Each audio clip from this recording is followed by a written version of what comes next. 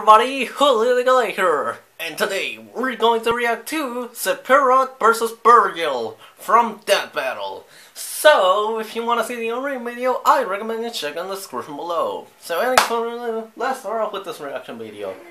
The Screw Attack. Death Battle. The great philosopher Plato once said, The measure of a man is what he does with power. But to these guys, power is the measure of a man. Sephiroth, the fearsome one-winged angel of Final Fantasy. And Vergil, the half-demon son of Sparta from Devil May Cry.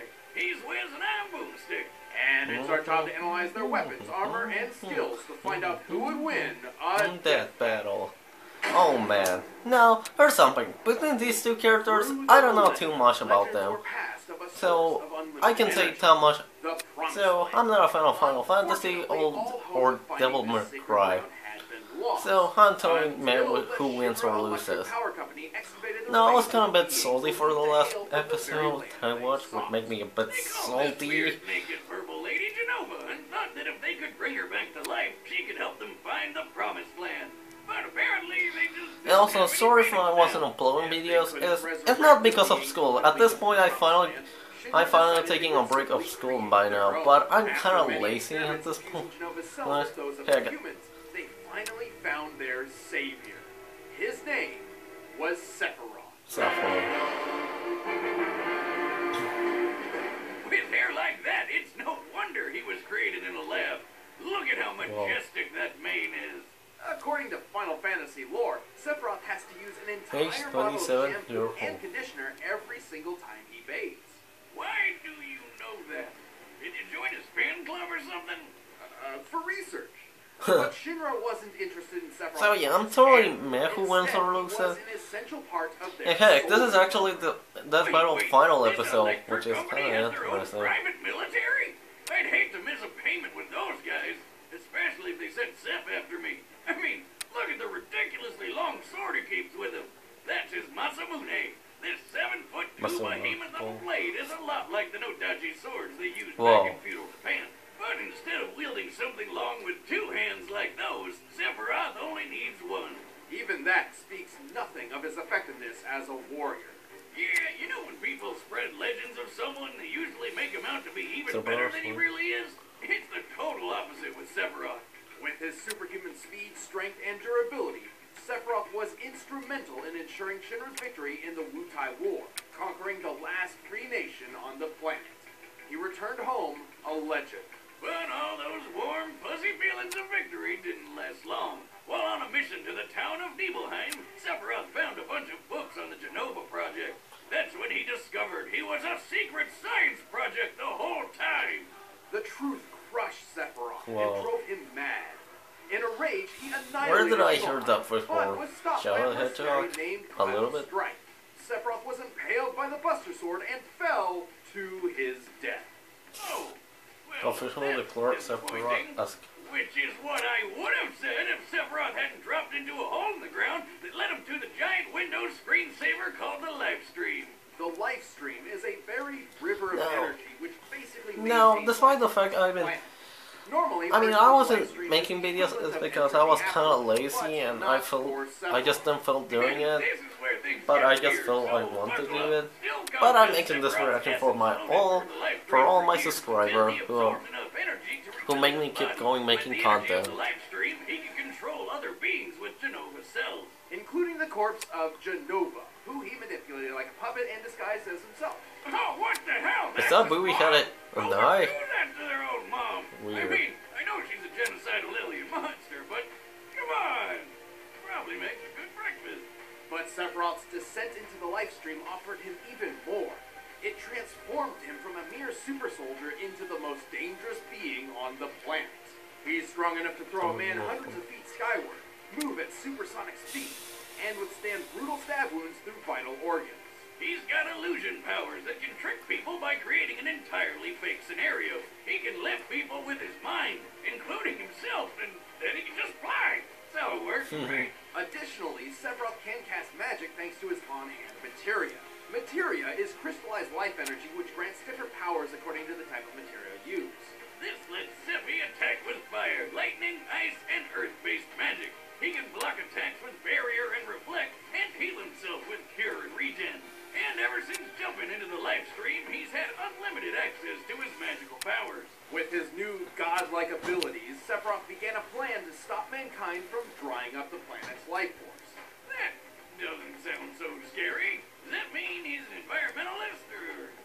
to do this, he decided to use black materia to summon a giant meteor to destroy the planet and absorb all of its life energy. Is that Majora Mask?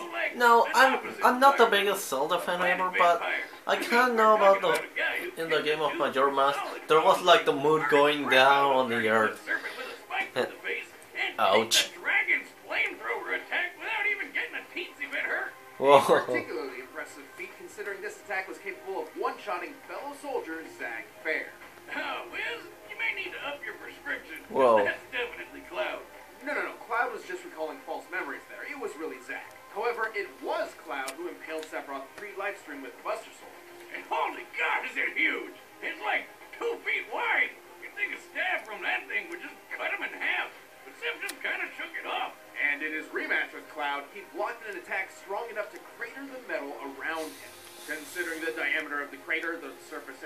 Sephiroth's feet, and assuming the most likely steel composition, I estimate this attack to equal nearly 1,600 tons of force. Whoa. Sephiroth can use that wicked sword to stab and lift Hero wannabe with the heroes by their slice ribcage, the metal cannons, and skyscrapers, gains the fireball, and shoot then will destroy the beams that can planets, and by these the huge Mako throwing cannons. And from the live stream, to figured out he could create new bodies or even take on killed, other forms. but then These forms greatly resemble certain creatures found in Christian and Jewish mythology. He certainly looks the part when he goes into his ultimate form. Regardless, Sephiroth does possess a single black wing, a blatant symbol of his fall from grace. So basically, Final Fantasy does everything it can to not be subtle. Just like Sephiroth's most devastating attack, Boom. Supernova, which decimates an entire solar system. Wait, if Seph is that powerful, how does anyone ever beat him? Don't get the wrong idea here. There's a lot of debate over how Supernova actually works, but I think it's Wow. clear that Sephiroth isn't creating the explosion himself. Rather, he's transporting his foes to a specific point in time within an alternate dimension. Careful, Wiz, don't sell him short. Just look at it. When he uses the attack, reality literally crumbles away like glass. Whoa, This ho, is ho. to the I mean, get it, people. I never played Final Fantasy. This is insane. Crisis Core Complete guide, summons draw their targets into In the Dissidia fighting games, Sephiroth goes for the simple approach and opens a dimensional hole to the explosion. The attack is even described as sending destruction even into other dimensions. And if he could summon planet-busting meteors at will, why did he go through so much trouble to get the black materia, which literally summons meteors? That would explain why the supernova doesn't hurt him. He's not really there, just using those illusion powers of his. With all these powers, I can't believe Cloud Man, Grace I don't think able Burger will win. He's I guess. but he's damn powerful. Ever persistent, Sephiroth departed with a final, chilling promise. I will never be a memory. Why does he sound so bored? wow. This is maybe the Thousands first time that ago, that they actually inspired interrupt the the underworld. The demon warrior Sparta rebelled against his evil master, Mm. Mundus. To protect The the, ending of the character. best to seal That was kinda funny. between hell and earth. why he's on bar. then Sparta got lonely, or maybe it was just a sausage fest in there. Either way, he snuck out of hell long enough to knock up this chick named Eva. And she popped out a couple of awesome demon slayers. Nice choice. You may remember the younger of the two, Dante. Yeah, oh, Dante. yeah, he- he bought that witch chick with the hair. But the Mhm, I remember. I maybe brother should react to the older only episodes. Vergil. Vergil. Vergil and Dante were rivals from birth. Dante was a goofball. Vergil was serious. Dante hated his being a demon, and Vergil loved it. It's that classic odd couple scenario. But then one fateful day, Dante an is goofy, against the Lake Vergil is serious, a of he- rogue Dante hated being a demon, and and killed their mother. And Vergil enjoyed it. believed to be dead. Amazing. But in reality, Vergil survived and Copina, set out on his own path okay. to seek his father's immense power for himself. And he's became 100% an angel. Equipped to be a butt-kicking demon slayer just like his pop. As a half-demon, Vergil can jump several times his own height, move at supersonic speeds, and heal himself quickly, kind of like that Wolverine guy. Yay! Tough out getting stabbed through the lungs, intestines, the heart, body parts I'm pretty sure most people need. Not if my experiment has anything to say about it. You say something Wiz? I said not if Vergil's abilities have anything to say about it. Well, sadly, for any human demon or human demon who gets in his way, Vergil also happens to carry some extra deadly weapons on hand, including a spiffy katana called Tomato. Yamato. Eh, Tomato, burrito, even huh, to and Bichigo, and the tomato. Yamato is exactly Really? where he used to Stick? Really? In the first place. Vergil's sword fighting prowess draws from his Dark Slayer fighting style, which emphasizes teleportation, lightning quick movements, and even quicker slashes straight from the sheath. This technique is directly influenced by Iai Jutsu, the real-life Japanese art Whoa. of quick draw. And thanks to Vergil's demonic Yamato. powers, he can attack Tomato. so fast the blade seems Beowulf. Yeah, the only thing better than fighting with one sword is fighting with eight. With Oh my God. Vergil's summoned swords, he can turn himself into a living Beyblade, fire them like a machine gun, or make it rain. Whoa. Blade Make it rain! and butter, but if he Make wishes to it focus rain! on brute strength, he switches to Beowulf. He can charge up blink of an eye punches and kicks that hit like a cement truck made of lead and KO some of the toughest demons in just a few hits.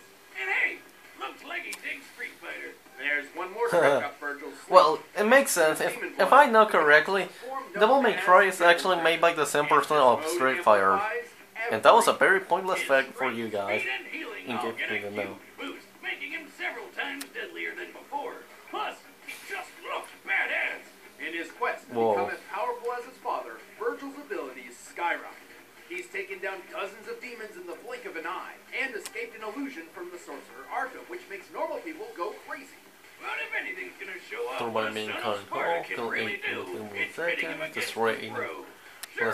Yeah, the same thing as Dante. Bullets, But why dodge them when you can spin your sword, line them all up, and fire them back mm, like a boss?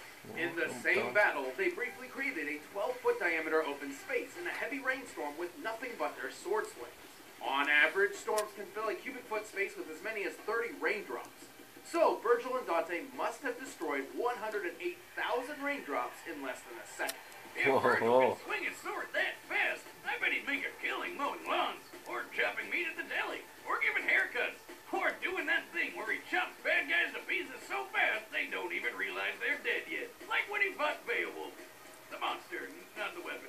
And then he punched him so The hard monster, not flew the 55 feet up and hit the ceiling. When oh. comparing Ouch. Beowulf's size to Vergil, he appears to be as large as an elephant.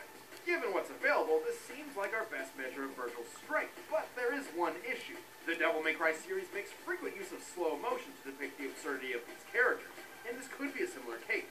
So let's look at another slow-mo feat, the rainstorm fight. At one point, Really? Again? freezes in Or place for for less about effort? two and a half seconds, as Vergil and Dante keep moving, indicating a 14,500% speed increase in real time. Applying the same degree to the Beowulf punch gives us an acceleration speed of about 4,882 feet per second. Whoa. With that in mind, we can apply our previous data to deduce the maximum height Sam's ceiling, and determine Vergil's striking strength to be nearly 720 million newtons of force. That's a lot. It matches Vergil's Still incredible cool block toughness, play. too. We already mentioned his super healing factor, but it's even more overpowered than you think. Vergil What? once got completely Hmm. cut in half, but healed so fast that it's impossible to even notice. And his regeneration ability can be worn down. Yeah, that's how this weird jester guy beat him. But it takes a while to pull off. And Vergil can always just use Yamato to hop through dimensions to get away if he wants. Sadly, Vergil never got to rule the demon realm like he wanted. Instead, the Demon King permanently transformed Vergil into his puppet, irreversibly manipulating his mind in the process. And then Dante kind of, uh, exploded him. But one or two losses against someone who's basically goddamn Satan hardly makes him a weakling. Hell and Earth trembles before the power of Vergil. It'll be fun fighting the Prince of Darkness. If my father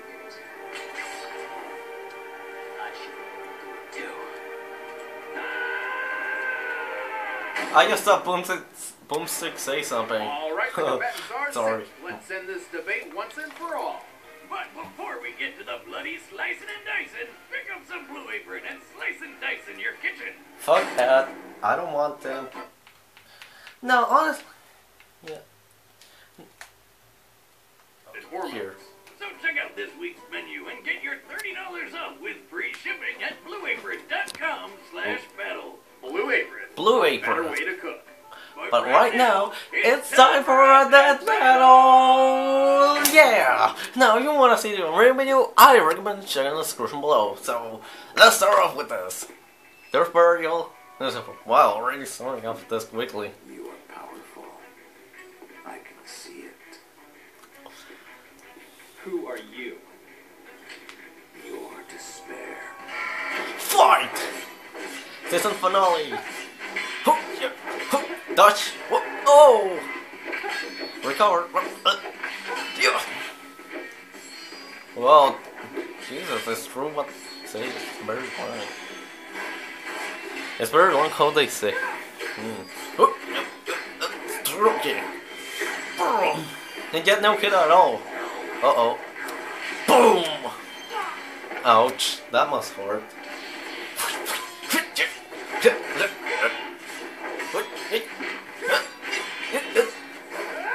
Actually pretty good. Uh oh, bird. Oh, birdie way. Like, well, he doesn't matter. I'm so quickly. Okay, you're strong. But are you fast enough? Maybe yes. Oh, Don't move. oh man, that's going to hurt. I suppose it can't be helped.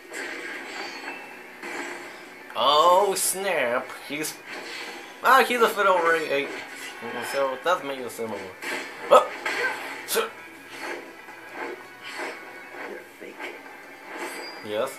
Stop wasting my time.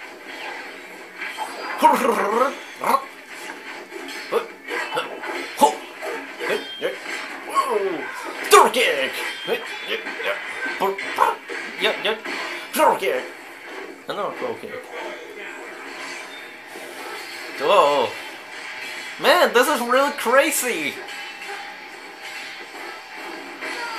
Oh, he got him.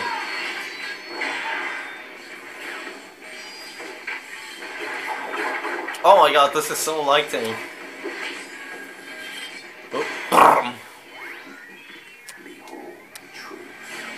Uh oh, he's now using his reality warper or something like that. Is that supernova?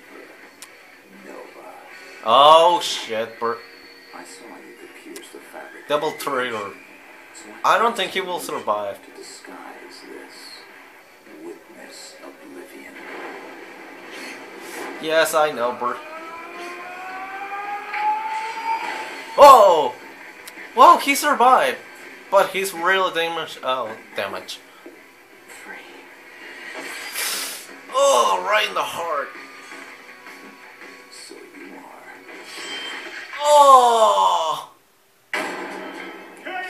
Yes, I knew it. Oh, I was through. I, I got it. Extremely powerful swordsmen, I think my luck got better. Sephiroth's Cunning and stronger abilities. It's a better one. Victory. Interesting. I thought the lore said Vergil's sword could cut through anything. Why didn't it cut through Sephiroth's sword? Yamato was a unique weapon, but its legend clearly exaggerated. Well, uh, at least Final Fantasy got a victory, which is something for blade and even Final Fantasy fans, but to me, cutting meh. through either, and sometimes required sending super But at least I want, but at least I want the Sonic the Hedgehog franchise and the Marvel franchise win more in this series because they have been losing a lot more, especially the last episode. Good Seppi strength feats to compare. First, let's compare Sephiroth to a fellow first-class member of the Soldier Fighting Force, who had also been experimented on with Jenova cells, Zack Fair. Remember him? He's the not cloud guy who fought that dragon. At his peak, Zack could cut through a large metal door with one swing, seemingly with most of his strength. Given the size and width of the door, this feat's sheer strength comes out to 980 million newtons. And Seph was way stronger than Zack. In fact, if we look at their strength stats when they fought that dragon, Sephiroth was three and a half times Whoa. stronger than Zack. putting Sephiroth's strength output at over 3 billion newtons. That's almost as much force as 30 Hiroshima bombs. Strength isn't everything, though. Vergil was technically faster than Seppi, but Sephiroth has handled people at similar speeds before. Plus, Sephiroth could survive plenty of hits because his healing power is broken. The capabilities of Vergil's healing factor was nearly unprecedented, but it had its limits. In contrast, Sephiroth's healing abilities were only limited by his pool of magic, which was unlimited. Well, he also had to take some time to cast each healing spell, but that's why he distracted Vergil with his illusions. We Mhm. know Vergil He was maybe- susceptible to he kinda a little bit illusionary overpowered attacks, right as there.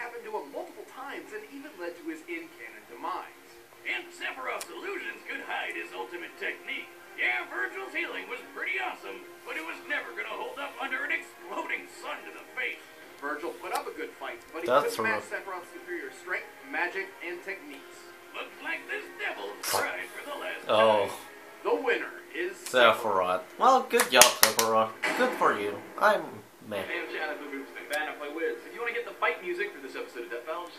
the link in the description and you can pick it up on iTunes. You can get music from Thor vs. Wonder Woman, Naruto vs. Ichigo, a bunch of death battles. And if you want exclusive commentary on this episode, then click that box right over there in the corner. Thank you so much for joining us for Death Battle Season 4. Thank Please, you. join us I've been- some episodes next year in Season 5.